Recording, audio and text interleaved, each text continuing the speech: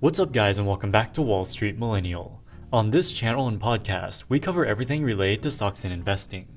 In 2021, one of the biggest stories in the financial world was the collapse of the massive Chinese property developer Evergrande and the knock on effects of the broader real estate market.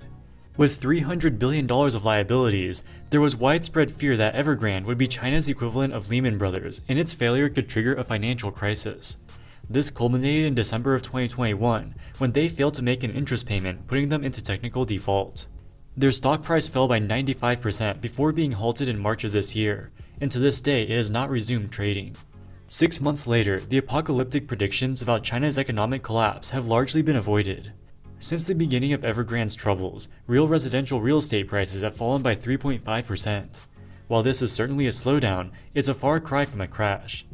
Fitch Ratings estimates that the Chinese economy will grow by 4.3% in 2022.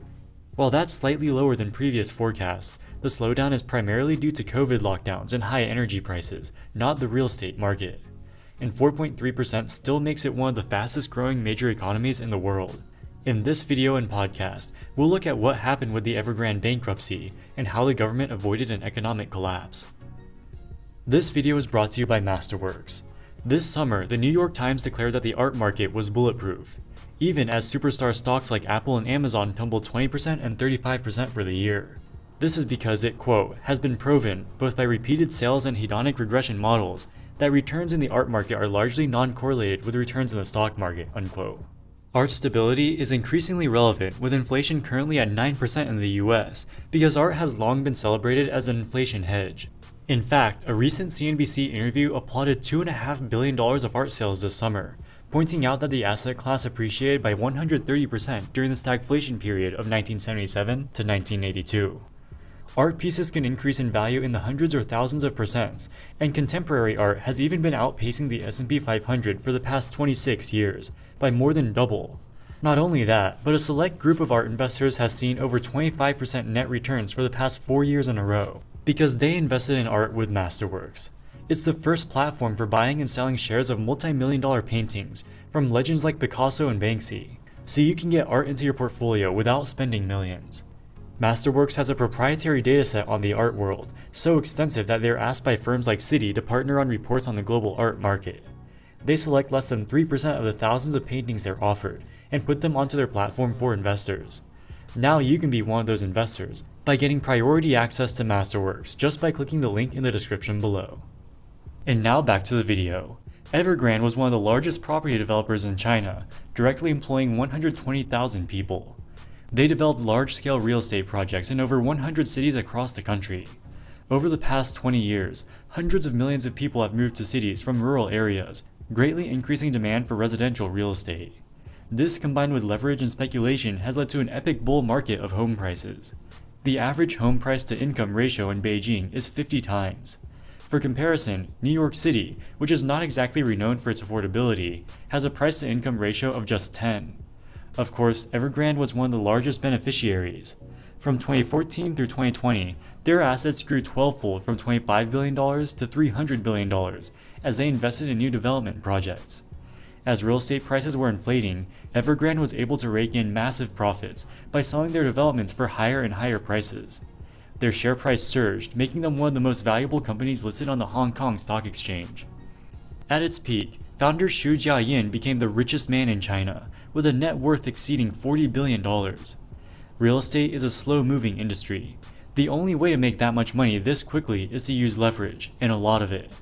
They would borrow money by issuing bonds, taking down payments from buyers before the construction is complete, and even borrowing money from individual investors through their wealth management products. By 2021, they had amassed $300 billion of liabilities, making them one of the most indebted non-financial companies in the world. By 2021, the Chinese government started to grow concerned about excessive leverage in the real estate industry. So they implemented the Three Red Lines policy, which limits the leverage ratios of property developers. To comply with the three red lines, Evergrande was forced to liquidate some of its properties at a loss. This sparked a chain reaction which sent the whole house of cards crumbling down. After incurring these losses, they didn't have money to pay interest payments to their wealth management customers, who protested en masse at the company headquarters. They also didn't have money to finish the real estate projects still under construction. This was a big problem because many of these properties were already pre-sold and they were obligated to finish them. In December, Evergrande missed an interest payment on its bonds. Contagion spread across the industry as credit froze up, and many other developers also headed towards financial distress. Real estate is incredibly important to the Chinese economy. By some estimates, construction and other real estate related services make up 30% of total GDP. A downturn in the property market could lead to tens of millions of people losing their jobs. Real estate also makes up more than 40% of household wealth. If people see the value of their homes decline, they'll cut back on consumption, further slowing down the economy. By the end of 2021, things were looking pretty bleak. In November, Evergrande officially defaulted when it missed interest payments on some of its offshore bonds. They had almost completely run out of cash and were forced to halt construction on many of their projects. As the empty construction sites fell into disrepair, this dug the struggling property developers into an even deeper hole. In March, the Hong Kong Stock Exchange halted trading in Evergrande stock. Its depository receipts still trade on the over the counter markets, where they have lost more than 97% of their value. It's increasingly looking like common equity holders will be completely wiped out. An analysis carried out by the advisory firm FMPC Consulting found that in the event of a liquidation, there would only be enough to pay Evergrande's bondholders at most 10 cents on the dollar. It looked like the company was almost completely worthless. When a company goes bankrupt, that doesn't mean that it immediately shuts down and lays off all of its employees. The core business may be completely viable, and it's not in anybody's interest to fire sell all the equipment at scrap metal prices. The government's goal is to find a way to restructure Evergrande while preserving as many jobs as possible and avoiding contagion to the rest of the market. Evergrande raised money from thousands of institutions and individuals, which broadly fall into seven main categories. The lowest on the priority are the shareholders who own the common equity. Even if some individual investors are ruined by the stock price falling to zero, this does not represent a systemic risk to the economy. The next group on the chopping block are foreign bondholders, to which Evergrande owes about $20 billion. These are mainly big multinational hedge funds and other institutions like BlackRock. The next group is domestic bondholders and banks within China. They may get some priority over foreign bondholders, but they too will likely see a big haircut if they get anything at all. For the most part, these lower priority stakeholders can stomach the losses without going bankrupt. So from an economic stability perspective, there's no need to bail them out. That leaves the last three groups of stakeholders, the wealth management customers, the suppliers, and the home buyers. Many of these buyers put up substantial portions of their life savings to prepay for Evergrande apartments, which have not yet been finished. If these apartments remain unfinished, they will be financially ruined. If homebuyers are left holding the bag, people will be hesitant to give prepayments on other developments in the future. This will make it more difficult to fund developments and be a drag on the industry for many years to come. On top of that, many Evergrande customers also invested in the company's wealth management products. These were basically working capital loans, which sometimes yielded as much as 10%. Between the apartment prepayment and the wealth management products, many ordinary people had the majority of their net worth tied up in Evergrande. And it's not just the customers who would feel the pain. Many of Evergrande's suppliers and construction contractors are small businesses. If the developer defaults on its accounts payable, there would be a wave of bankruptcies, putting millions of people out of work. The main goal of the Chinese regulators is to save the top three buckets of stakeholders and to dump the losses on the bottom four. So how will they do this? Before the crisis, Evergrande's financing structure would work something like this. They collect cash from customers from prepayments. They use some of this money to fund the construction of the apartment, but some of this money would also go to their bondholders as interest payments. Given how large their debt had grown, there may not be enough money to complete the construction, and the apartment is left unfinished. To prevent this, the provincial governments within China started taking control of the customer prepayments and put them into special accounts which they control. This money can only be used to finish construction of the apartments. Even if the bondholders sued to try to get their interest payments, it's unlikely that they could get their hands on any of this money. Because of this, 95% of Evergrande developments had resumed construction by April this year. This has all happened even though the embattled developer is still in technical default. Evergrande still has money coming in as they deliver finished apartments to end customers, and without having to make interest and principal payments for the time being, they just might be able to make good on the obligations to their customers. If homebuyers are made whole, the panic will be averted and people will still have confidence to buy new homes going forward. And so far, this appears to be the case, as prices have only fallen marginally. But in economics, there's no free lunch, and every policy has its pros and its cons.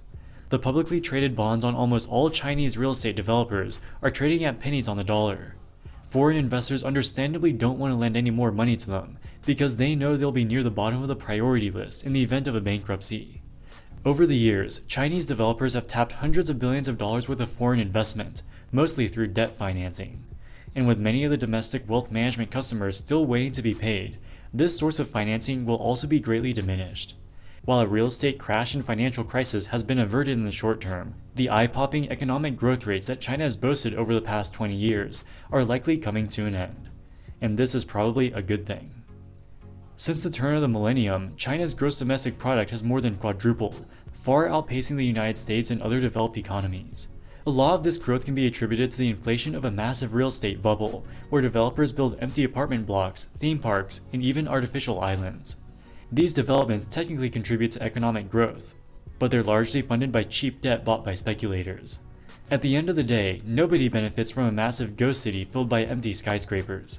Over the next few years, Evergrande will be slowly wound down under government supervision, and most of its financial backers will be wiped out.